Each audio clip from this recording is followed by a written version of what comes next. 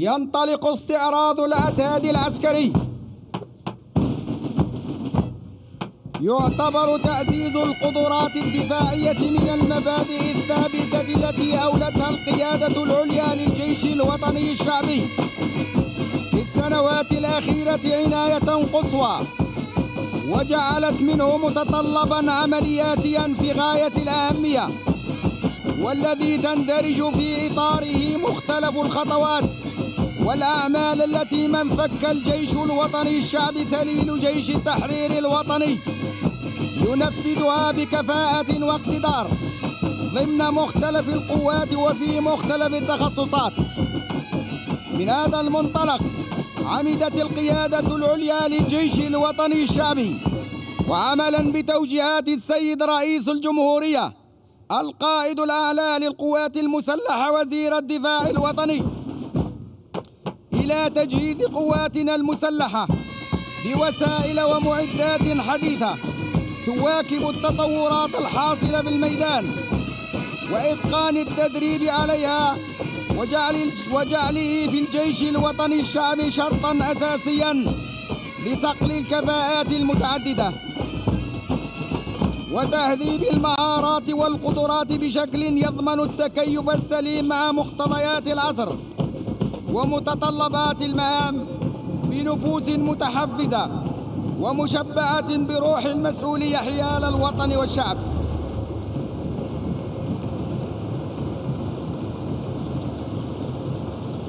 وتتابعون الآن أيها السادة الأفاضل والسيدات الفضليات عرضا عسكريا لبعض النماذج من الأسلحة والعتاد الموجود بحوزة الجيش الوطني الشعبي.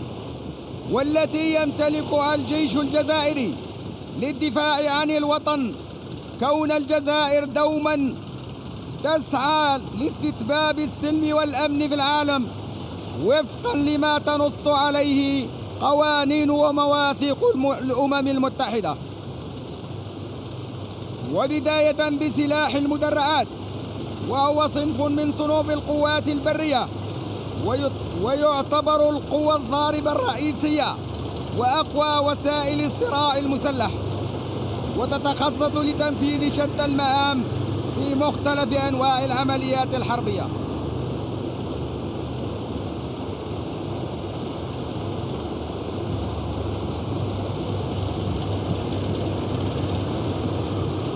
بداية نشاهد على يسار المنصة الشرفية تقدمات سرية دبابات القتال تي 55 المعصرنة وهي دبابات قتالية مجنزرة مزودة بأسلحة قوية ودرع متين.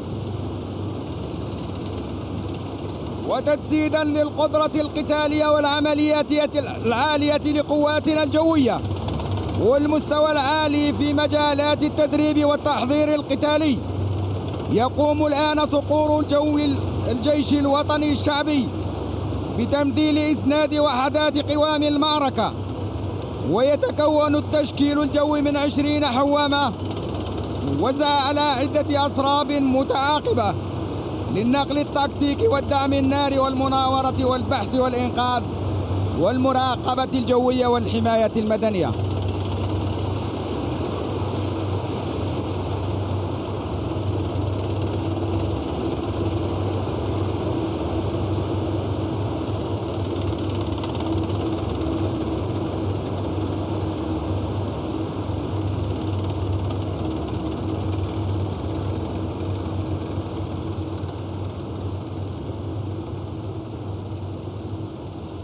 تتبع هذه الوحدة الفرعية وحدة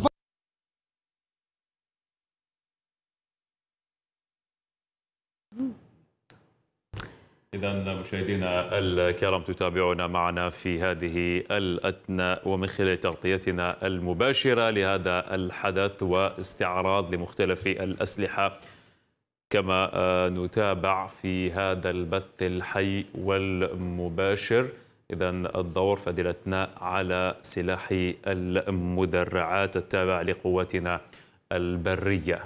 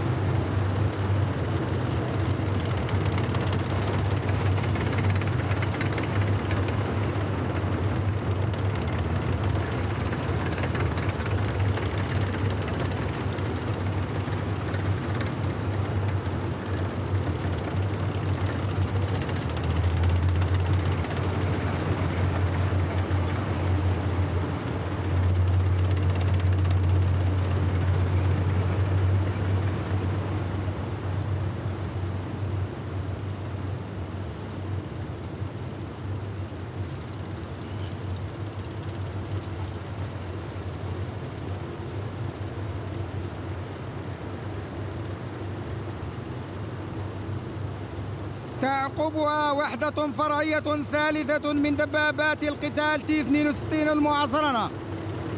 وهي آلية لإسناد الدبابات بالقتال.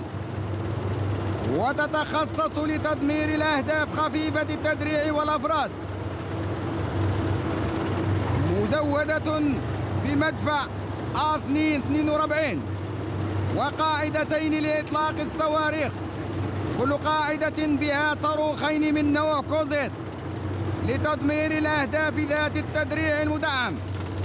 مزودة بقاذف القنابل الأوتوماتيكي آجي 30 ورشاش خفيف.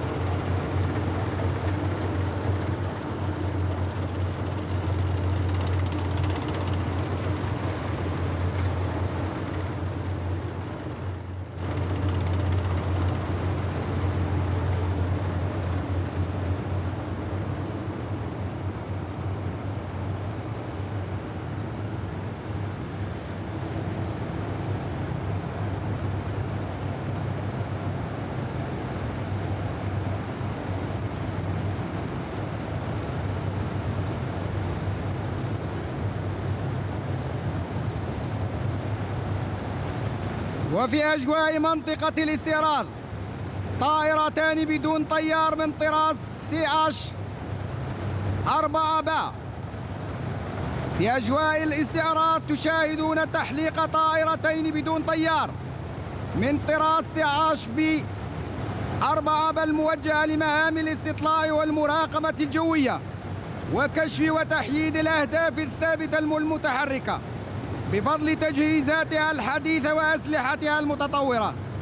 طائرة أثبتت من خلال مهامها المنفذة ليلا ونهارا قدراتها العملياتية العالية مع ضمان السرعة الفعالية والدقة بتنفيذ المهام الموكلة والآن أمام المنصة الشرفية وحدة فرعية من دبابات القتال تي 72 المعصرنة وهي دبابة قتال رئيسية تتخصص لتدمير الأهداف المدرعة وخفيفة التدريع مزودة بمدفع. A2 42 وطلقة صاروخ موجه أوجي ورشاش موازي ورشاش مضاد للطائرات ومنظومة لتوليد الستائر الدخانية.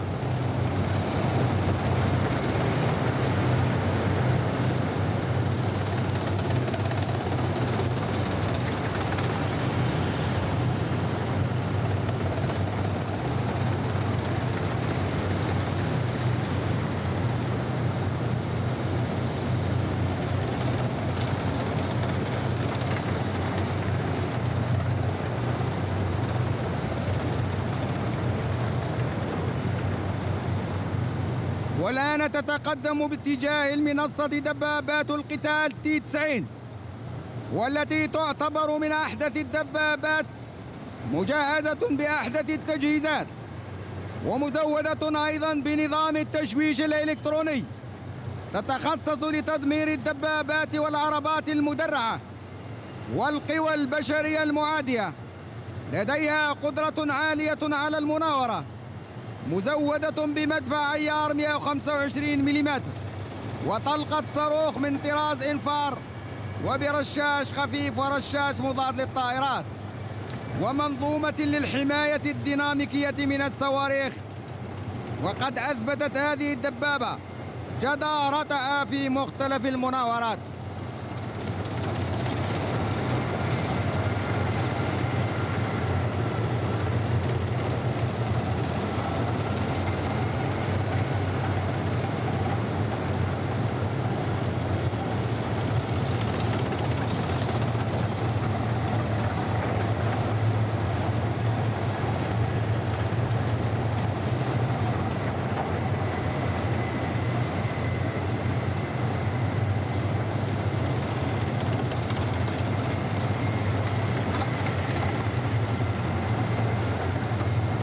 ونشاهد الآن تقدم آخر للوحدات الفرعية لسلاح المدرعات.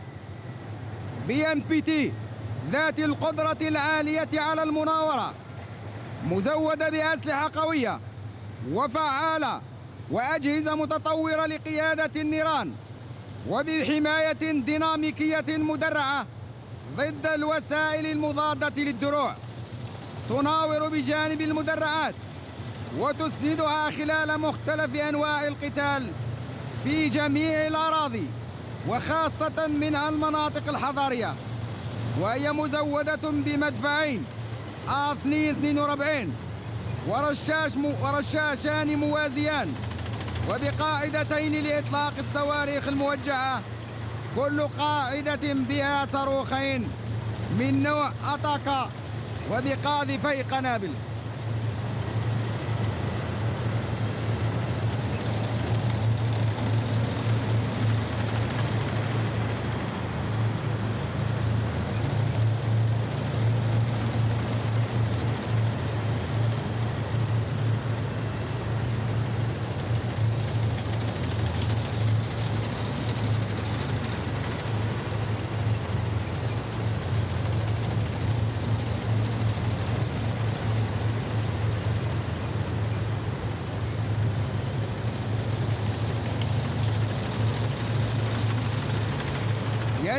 هذا النوع من السلاح. سلاح آخر لا يقل أهمية عن الأول وهو سلاح المشاة الميكانيكية. حيث نلاحظ الآن تقدم وحدة فرعية بقوام سرية مشاة ميكانيكية. على متن العربات القتالية المجنزرة بي إم بي اثنين والتي تتخصص لنقل أفراد المشاة ولإبادة القوى البشرية المعادية. في العراء وخلف السواتر ولتدمير الدبابات والعربات المدرعة. وهي مزودة بمدفع من طراز A242 ورشاش خفيف وقاعدة لإطلاق الصواريخ الموجهة المضادة للدروع. برق.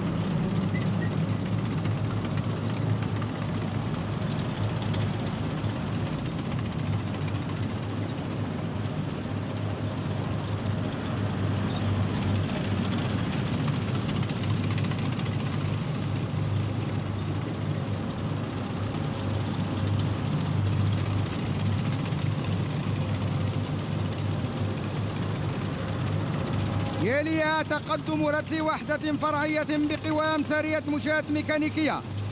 على متن العربات القتالية بي واحد المعصرنة الجيل الأول. وهي عربة قتالية مجنزرة لنقل أفراد المشاة ولإبادة القوى البشرية المعادية في العراء وخلف السواتر ولتدمير الدبابات والعربات. وهي مزودة بمدفع من طراز 2 A 42 ور- ورشاش خفيف وقاعدتين لإطلاق الصواريخ الموجهة المضادة للدروع. برق. وقاذف القنابل. آجي 30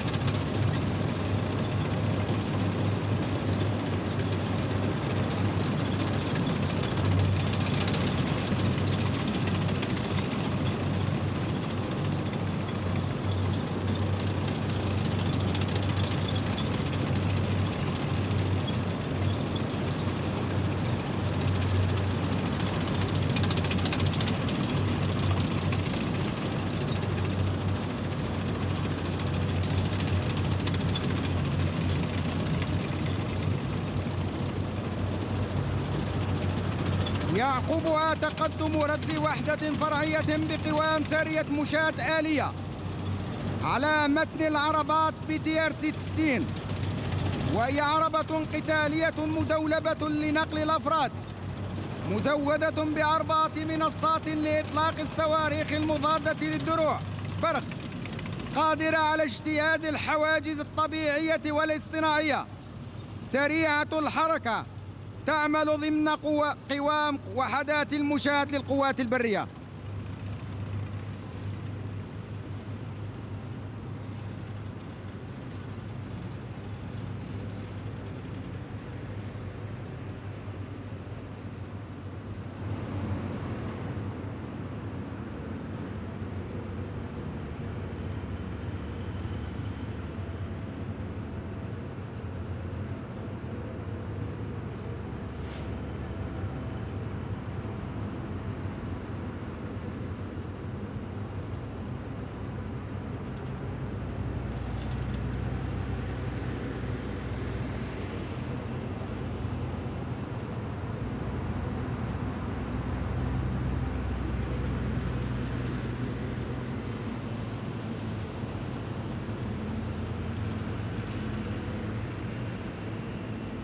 يليها تقدم رتل وحدة فرعية بقوام سرية مشاة آلية.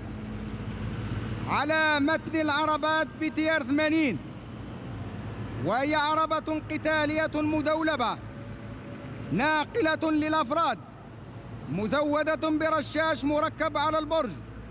وكذا بمنظومة بمنظومة لإطلاق الصواريخ. المضادة للدروع برق.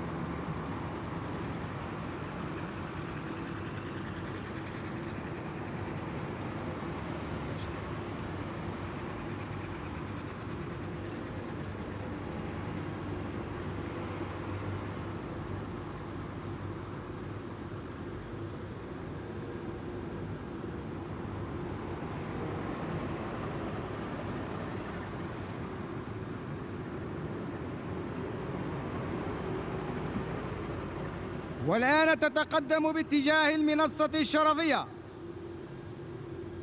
وحدة فرعية بقوام سرية استطلاع على متن العربات القتالية فوكس 2 وهي عربة مدرعة سداسية العجلات تستخدم للقيام بالمهام الاستطلاعية مزودة بنظام الحماية ضد أسلحة الدمار الشامل. وكذا بنظام تحديد الموقع. GPS بالإضافة إلى منظومة إطفاء الحريق أوتوماتيكيا. ومن أجل زيادة الفعالية القتالية للعربة Fuchs 2 تم تزويدها بمحطة قتالية نانوك للكشف والرماية. يتم التحكم فيها عن بعد وقد تم تجهيز هذه المحطة بقاذف القنابل الآلي ومدفع رشاش ثقيل وبرشاش خفيف.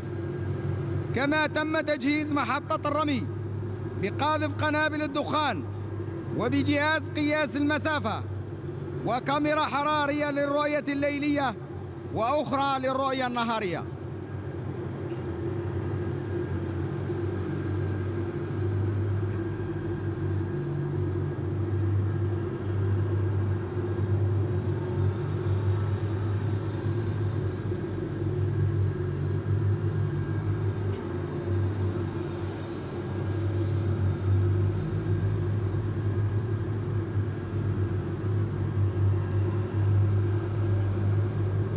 والآن نشاهد يسار المنصة الشرفية.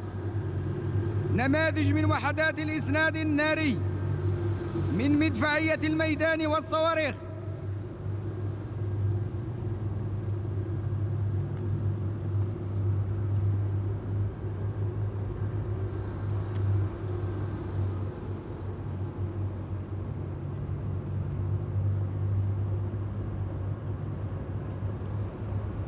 فأمامكم الآن سارية الهاون 120 المكيف على عربة خفيفة لكل الميادين مما أكسبه المزيد من قدرة المناورة وسرعة الحركة يمكن استخدامه في مواقع النيران المستورة يقدم الإسناد الناري السريع لوحدات الالتحام في مختلف أنواع القتال. على مسافات الاشتباك القريبة والبعيدة مع العدو.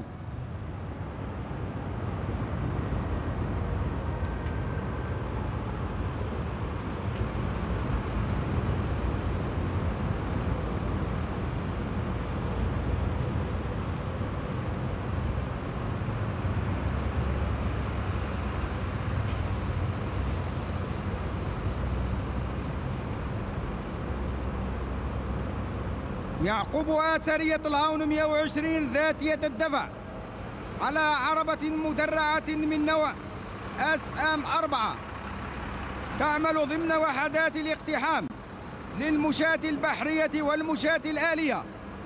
تتميز بالقدرة العالية على المناورة وتحليل المعلومات وسرعة الرمي مع دقة الإصابة النارية.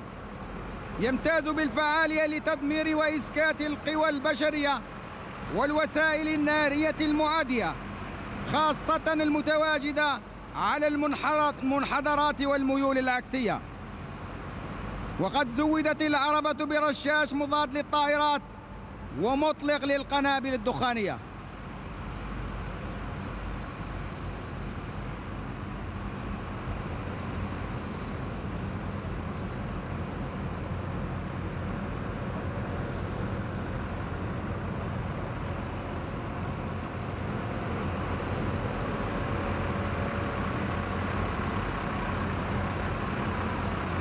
تعقبه سرية المدفعية المضاد المضادة للدبابات.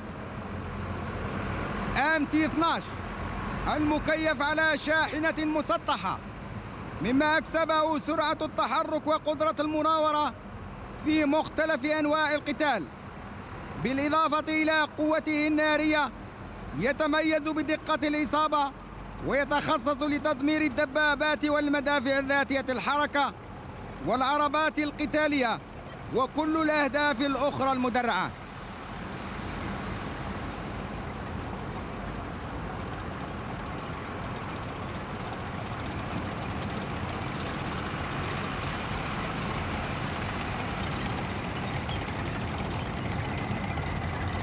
تعقبها سرية الهاوتزر 30 المكيف على شاحنة مسطحة. وهو سلاح متميز بإمكانيات نارية عالية ويعتبر من أفضل أسلحة مدفعية الميدان في العالم.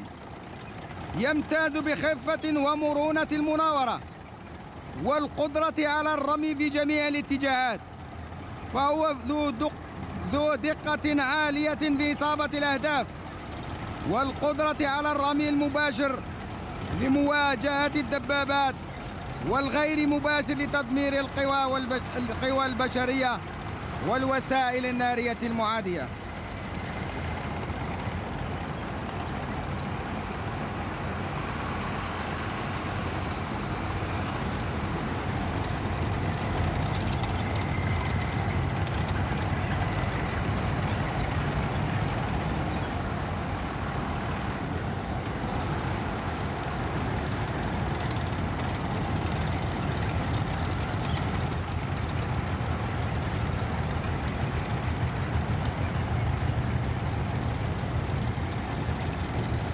أما الآن فتتقدم باتجاه المنصة.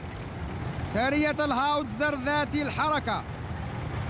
ديخا عيار 122 ملم وتتميز بالقدرة العالية على المناورة بالحركة وبالنيران. يستخدم لتدمير وإسكات القوى البشرية والوسائل النارية من دبابات وعربات مدرعة ومواقع المدفعية ومراكز القيادة والسيطرة المعادية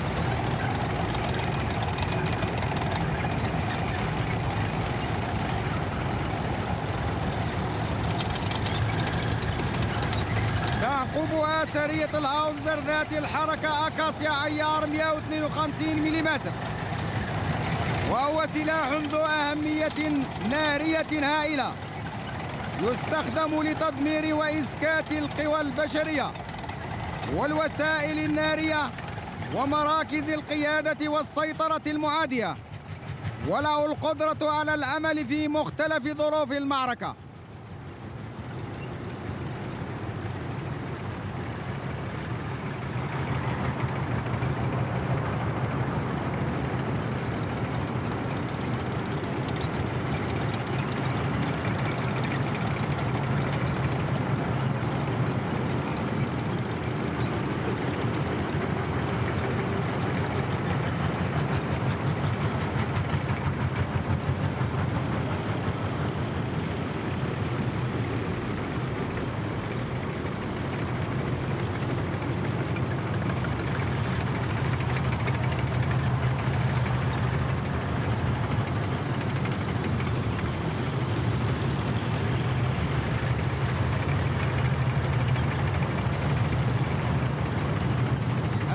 فتتقدم باتجاه المنصة الشرفية؟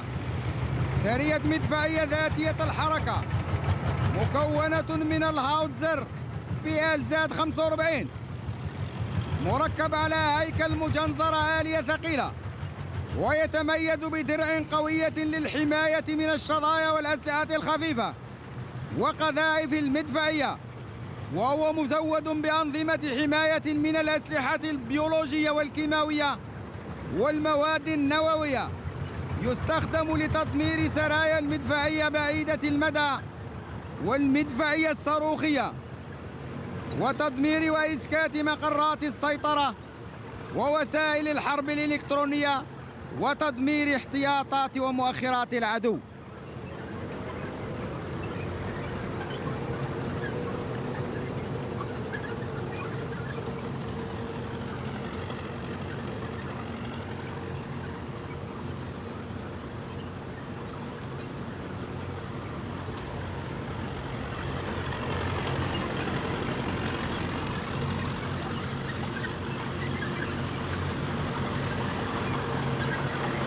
تعقبها سرية المدفعية الصاروخية بيام 21 والتي تعتبر سلاح ذو قدرة قتالية عالية تعمل في جميع الظروف المناخية ذات قوة نيران ومدى رمي كبيرين ولها القدرة على المناورة بالنيران والحركة مما يسمح لها بتأدية المهام المسندة بنجاح.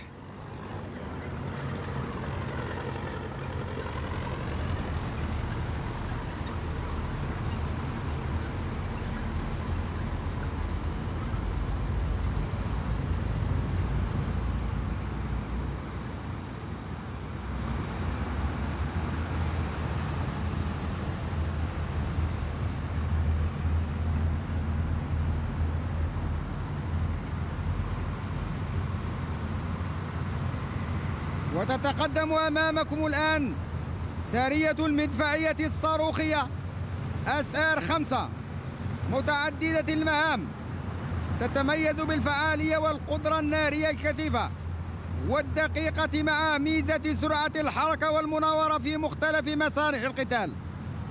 هذا السلاح الذي أضاف المزيد من القوة للإمكانيات النارية لوحدات قوام المعركة لقواتنا البرية. ويمتاز بفتح النيران الكثيف والمركز ويتخصص لتدمير وإسكات القوى البشرية والوسائل النارية المعادية في مناطق التحشد.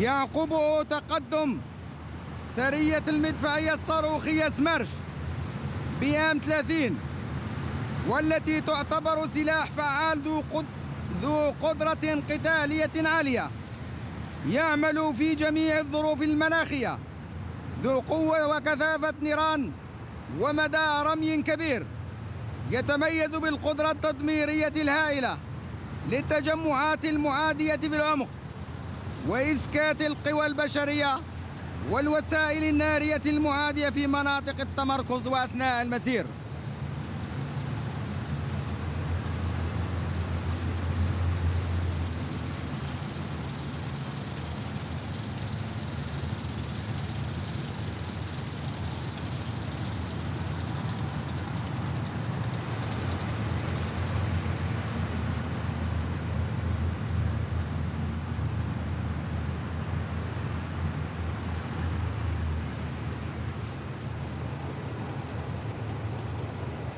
وتمر أمام المنصة الآن سرية القاذف والتي تم تصميمها على هيكل دبابة تي 90 وهي سلاح فعال ذو قدرة قتالية عالية تعمل في جميع الظروف المناخية من مهامها تدمير الوسائل النارية والعتاد المعادي وتخريب التحصينات وتدمير وإسكات القوى البشرية المتواجدة في العراء.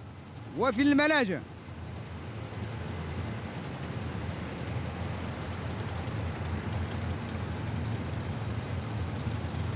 والآن ننتقل إلى نوع آخر من أنواع التأمينات القتالية وهو سلاح الدفاع الجوي بأنواعه من مدفعية وصواريخ مضادة للطائرات. والتي يمتلكها الجيش الجزائري للدفاع عن الوطن. كون الجزائر تسعى دوما لاستتباب السلم والأمن في العالم. وفقا لما تنص عليه قوانين ومواثيق الأمم المتحدة.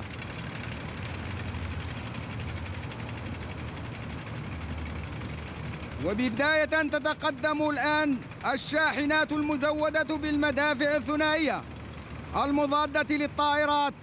من عيار 23 ملم وتتخصص لتدمير الأهداف الجوية المحلقة على الارتفاعات المنخفضة والمنخفضة جدا وكذا تدمير الأهداف البرية خفيفة التدريع.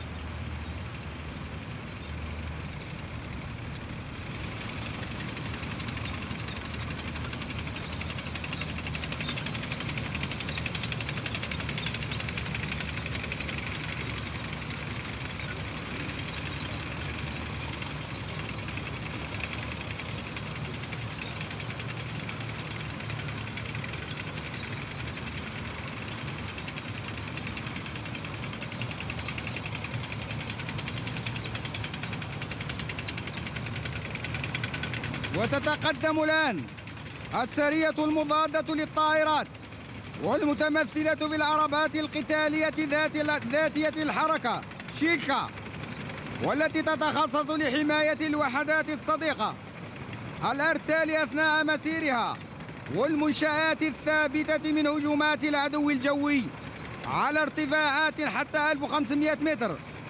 وكذلك يمكن أن تستخدم لتحطيم الأهداف الأرضية والآعمة والثابتة. ويوجد من ضمن تشكيل هذه السرية عربة شيلكا معصرنة مزودة بمنظومة الصواريخ أرض جو صاعق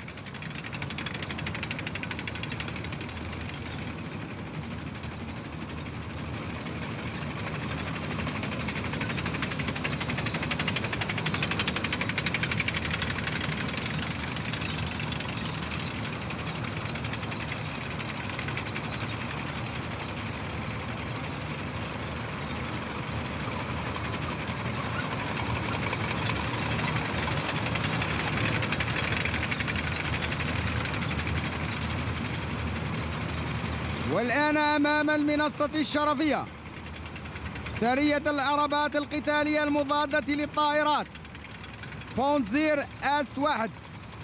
وتتخصص هذه المنظومة لتدمير الطائرات والحوامات والصواريخ المجنحة والطائرات بدون طيار التي تحلق بسرعة حتى ألف متر في الثانية.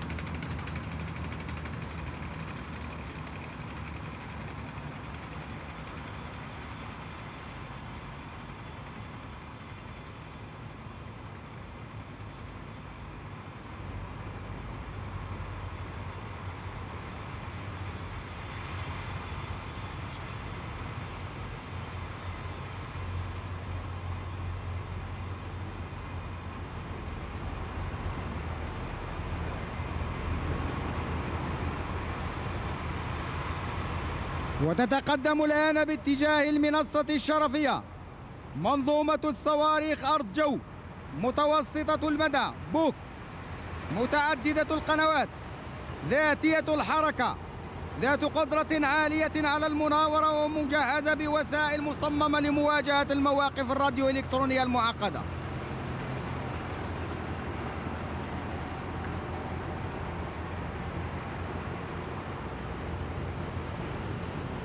السيد رئيس الجمهورية القائد الأعلى للقوات المسلحة وزير الدفاع الوطني.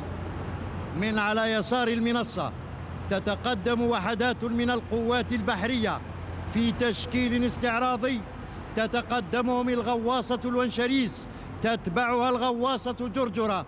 20 للسفن الغواصة مفخرة أسطولنا البحري وقوته الضاربة. تحمل أسماء جبال كانت بالأمس دروعا احتمى بها مجاهدون. ولقنوه دروسا في الوطنية ونكران الذات. لتكون هذه الغواصات اليوم درعا يصطدم به غرور كل من تسول له نفسه المساس بحرمة هذا الوطن الغالي. إذ أن هذا النوع من الغواصات القاذفة للصواريخ يمتلك قدرة نارية كبيرة. يمكنها بالإضافة إلى مهامها المتمثلة في تدمير الغواصات والسفن الحربية المعادية باستعمال التوربيدات والصواريخ طويلة المدى. بحر بحر يمكنها أيضا وخاصة إصابة أهداف برية في عمق إقليم العدو بصواريخ بحر بر ذات تبديل المحيط على مسافات كبيرة وبدقة عالية وقدرة تدميرية كبيرة.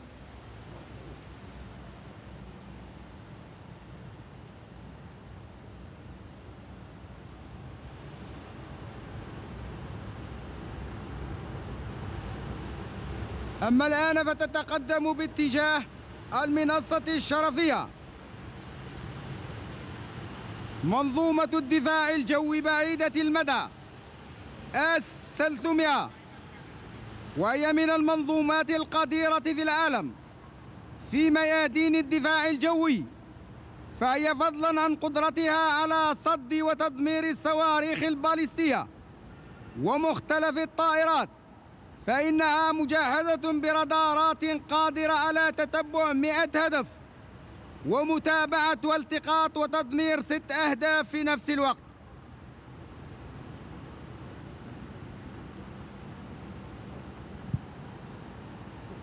تتقدم أمامكم الآن سفينة القيادة ونشر القوات قلعة بني عباس قلعة من قلاع الجزائر المنيعة.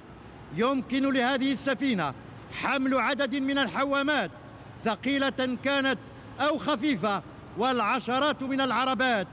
يمكن استعمالها كمركز قيادة محمول لإدارة العمليات البحرية. ويمكنها نقل مجموعات من مغاوير البحرية بتجهيزاتهم وعتادهم الخاص بما في ذلك زوارق الاقتحام السريعة لتنفيذ عمليات بحرية خاصة خاصة على غرار عمليات المنع البحري واقتحام السفن. كما يمكن لهذه السفينة نقل أفراد مشاة ميكانيكية بعتادهم وإبرارهم على شواطئ غير مهيئة. يمكنها القيام بإسناد عملياتي للقوات العاملة في الاتجاه الساحلي مستعملة أنظمة مدفعية وأخرى مضادة للتشويش وأنظمة صواريخ مضادة للطيران. كما يمكنها ضمان الإسناد اللوجستي للسفن المشاركة في العمليات البحرية بما في ذلك الشق الطبي. كما تمكنها قدرة استيعابها الكبيرة المشاركة في المهام الإنسانية لإجلاء السكان من المناطق الساحلية التي تعرضت للكوارث الطبيعية والتكفل بهم صحياً.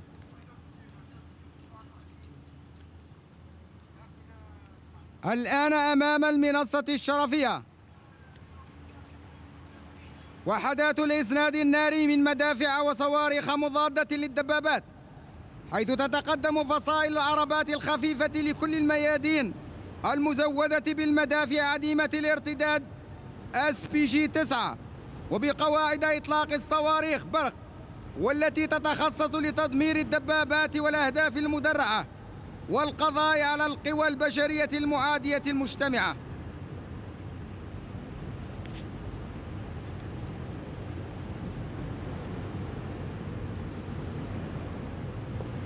تليها فصيلة العربات القتالية BRDM 2 المزودة بقواعد إطلاق الصواريخ المضادة للدروع. كونكورس.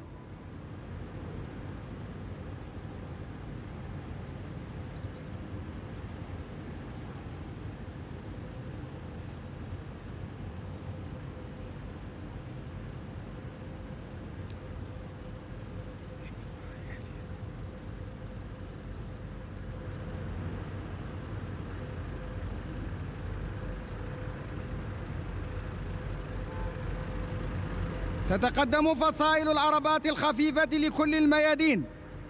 في المقدمة العربات المزودة بالرشاش الخفيف يليها مباشرة العربات المزودة بالرشاش المضاد للطائرات. ثم العربات المزودة بالرشاش كابي في تي وفي الأخير العربات المزودة بقاذف القنابل آكي 30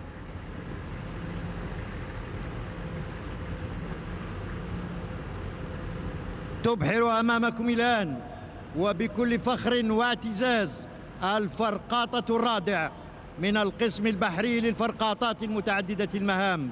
عنوان القوة والشراسة قدرتها القتالية العالية تمكنها من كشف وتدمير كل الأهداف المعادية السطحية العائمة منها والساحلية والأهداف التحتمائية وكذا الأهداف الجوية مجهزة بأنظمة أسلحة متطورة لصواريخ طويلة المدى مضادة للأهداف السطحية وتوربيدات وصواريخ مضادة للطيران بالإضافة إلى أنظمة مدفعية لعيارات مختلفة ورشاشات ثقيلة وقنابل تحتمائية.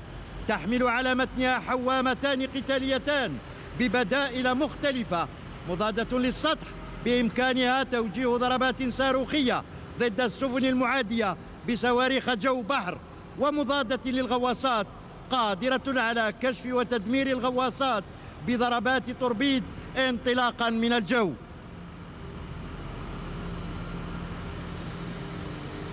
وتتقدم الآن باتجاه المنصة الشرفية. العربات الخفيفة المدرعة لكل الميادين تي دي 110 وتستعمل هذه العربات لنقل الأفراد مصممة للسير في المناطق الوعرة بنظام الدفع الرباعي وكذا في قتال المدن ودوريات الاستطلاع ومزودة ببرج للرمي وطاقم, من ستة أفراد. يليهم تقدم العربات الخفيفة القتالية هامر المصممة للسير في المناطق الوعرة والصحراوية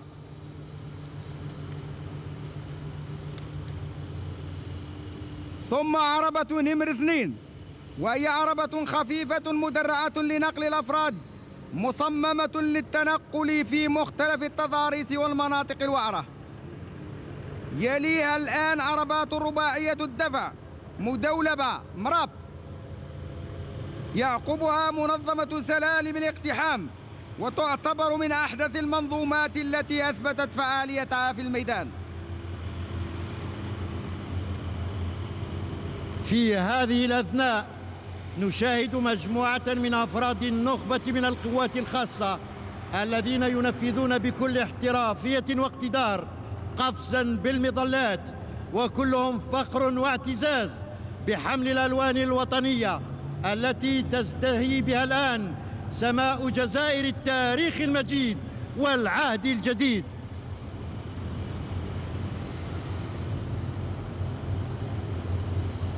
يتبع الفرقاطة الغرابان المتعددي المهام. على الميمنة الغراب الظافر وعلى الميسرة الغراب الفاتح. من اللواء البحري وعد خمسين للغرابات. هذه الوحدات المهابة لا تقل قوة ولا شراسة عن سابقتها. إذ أنه بإمكانها هي كذلك. كشف وتدمير كل الأهداف المعادية السطحية والتحتمائية وكذا الأهداف الجوية.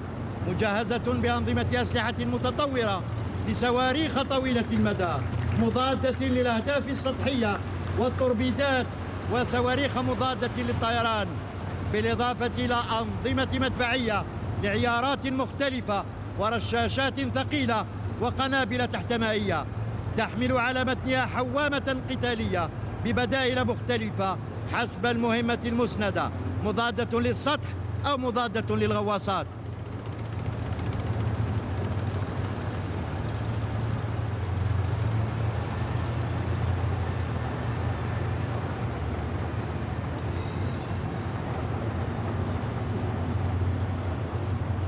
والآن يتقدم باتجاه المنصة الشرفية أحد التأمينات القتال فبداية نشاهد مرور العربة القتالية المدرعة المدولبة أوتي 64 والتي تستعمل لنقل حظيرة قتال هندسية مع منظومة فتح الثغرات عن بعد.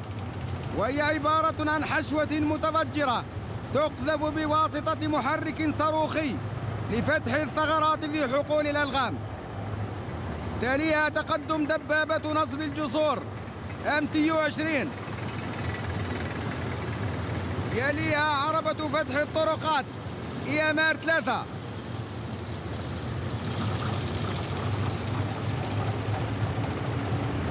تتقدم أمامكم الآن وراء الغرابين السفينة المدرسة الصومام. اسمها مخلد لإحدى هامات محطات الثورة التحريرية المظفرة. فمنذ دخول هذه السفينة الخدمة ساهمت في إعطاء منظومتنا التكوينية دفعة قوية حيث داب طاقمها وإطاراتها على تكوين تطبيقي نوعي للطلبة الضباط إطارات وقادة المستقبل.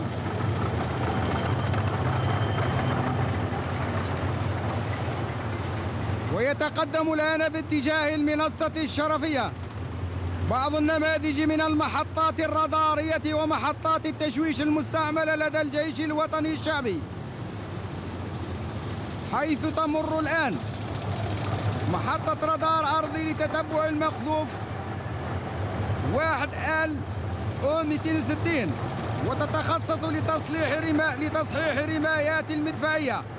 تليها محطة رادار كاستا 2 أو 2 وتتخصص لكشف وتحديث الأهداف الجوية.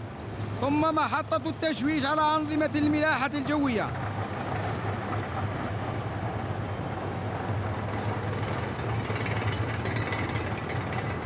ثم محطة التشويش اللاسلكي التقني.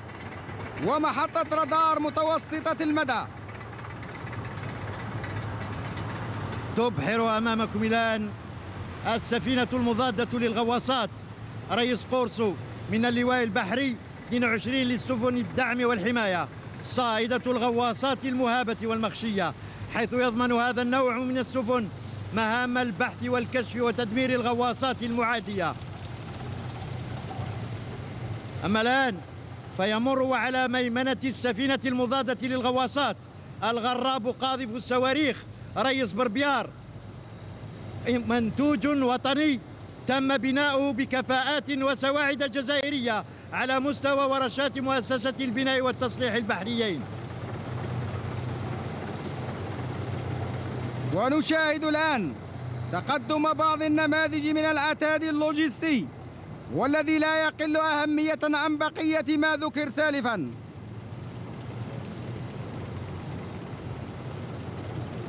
كما تتقدم أمامكم الآن سفينة الإنزال والدعم الإمدادي قلعة بني راشد من اللواء البحري 52 لسفن الإسناد قلعة أخرى من قلاع القوات البحرية الجزائرية البنيعة.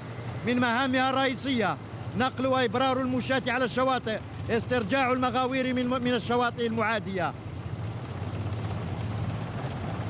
تليها تقدم السفينتين كاسحتي الألغام كاسح واحد وكاسح اثنين. إذ علمتنا الحروب المعاصرة أن الاستعمال الواسع للألغام البحرية يلحق أضرارا كبيرة ليس للسفن الحربية فحسب بل أضرارا تصل حتى المساس باقتصاد الدول وبأمنها الغذائي. إذا أن هذا النوع من السفن الحربية الذي أضحى لا غنى عنه كونه يمثل مكمن قوة للأسطول.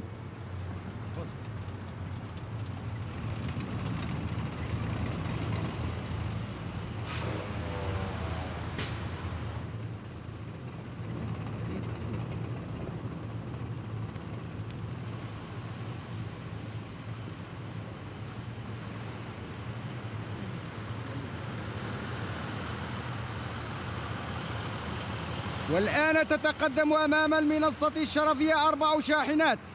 شاحنتان مسطحتان رباعية الدفع وسداسية الدفع. تليهم شاحنة ورشة لتصليح الكهربائي. وشاحنة أخرى للميكانيك العامة. ثم شاحنة ورشة لتصليح الدبابات.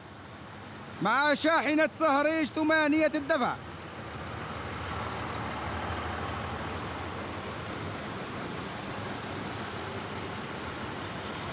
ثم شاحنة إخلاء وزن ثقيل ثمانية الدفع. وشاحنة صهريج ثمانية الدفع أيضا. وأخيرا تقدم شاحنة رافعة مدرعة سداسية الدفع مع شاحنة جر وإخلاء.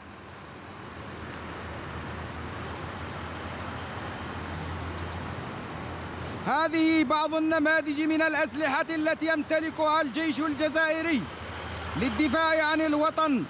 كون الجزائر تسعى دوما لاستتباب السلم والأمن في العالم وفق ما تنص عليه قوانين ومواثيق الأمم المتحدة. ولتكتمل الصورة ولإبراز دور قواتنا البحرية في مجال الخدمة العمومية تتقدم أمامكم جنبا إلى جنب قاطرتي أعالي البحار المساند والمنجد. رمز من رموز عزة الجزائر ووفائها بالتزاماتها المنصوص عليها في المواثيق الدولية المصادق عليها. إن هذا النوع من السفن والذي تعتبر الجزائر من الدول القليلة التي تمتلكه يمكنها من الوفاء في حدود من في حدود منطقة المسؤولية بالتزاماتها في مجال البحث والإنقاذ في البحر ومساندة السفن.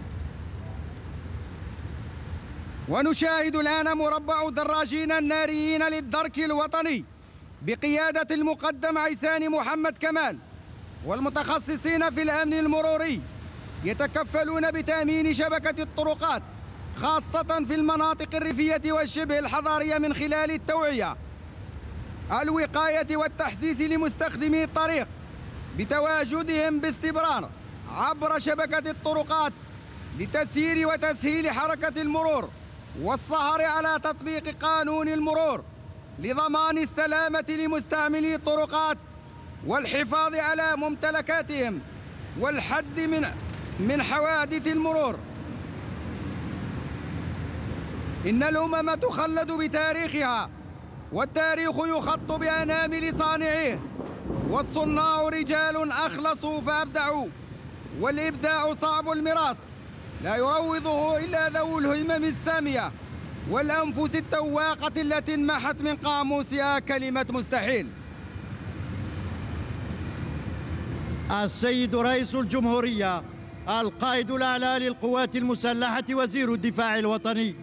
في هذه اللحظات ترفع السفينة الشراعية المخطاف وتطلق أشرعتها مبحرة وعلى متنها الطلبة الضباط. للمدرسة العليا البحرية الذين أبوا إلى أن يؤدوا لكم التحية قبل انطلاقهم لتنفيذ الحملة التدريبية صيف 2022 تجوب خلالها لؤلؤة القوات البحرية البحر الأبيض المتوسط وترسو بعدد من موانئه.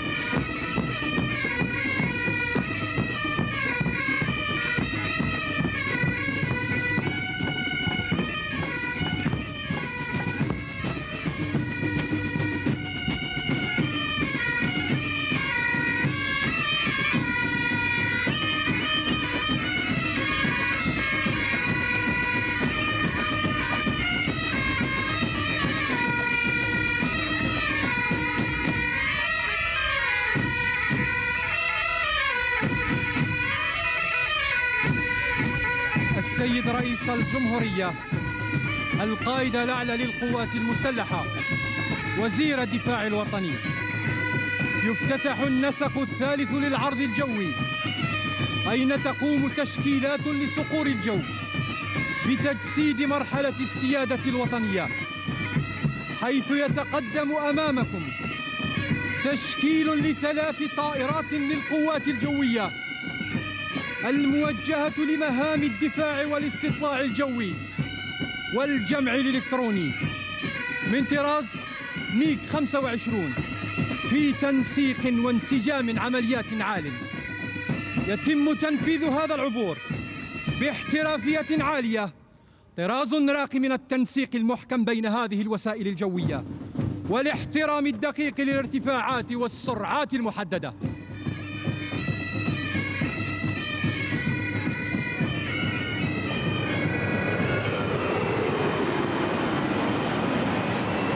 باحترام المسافات وتوقيت الظهور. يتقدم تشكيل لثلاثية من الطائرات المقاتلة للدفاع الجوي ميك 29 الموجهة لضمان مهام السيطرة الجوية. المطاردة والدعم التكتيكي للقوات بفضل قدرتها الاستيعابية وخصائصها العملياتية وتفوقها في القتال الجوي القريب. يؤديها صقور الجو بأعلى قدر من الكفاءة والاحترافية لتعزيز حسن الحماية الجوية للأجواء السيادية الوطنية واستتباب مقومات الأمن والسلم في العالم وفقا لما تنص عليه مواثيق الأمم المتحدة المعتمدة.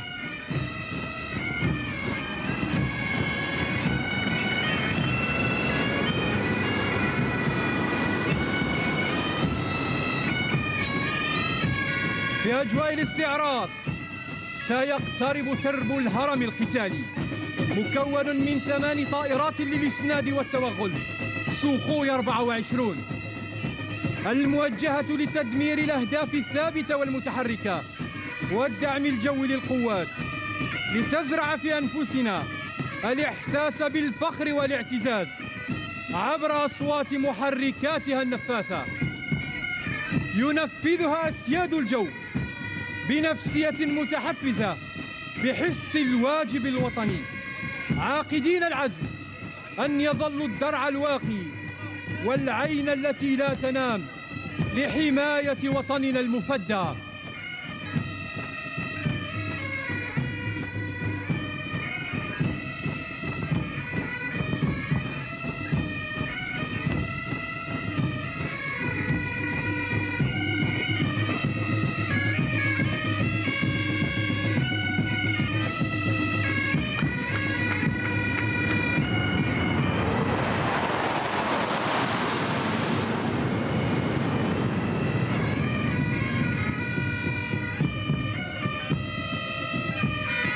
يختتم العرض الجوي بعبور سرب لثمان طائرات مقاتلة للدفاع الجوي من الجيل الرابع.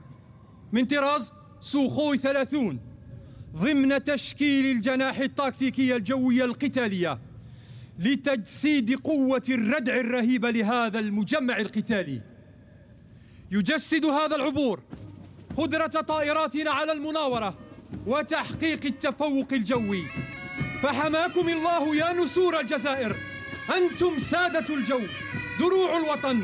فلا راية تعلو فوق رايتنا في هذا البلد الطاهر. المجد والخلود لشهدائنا الأبرار. تحيا الجزائر.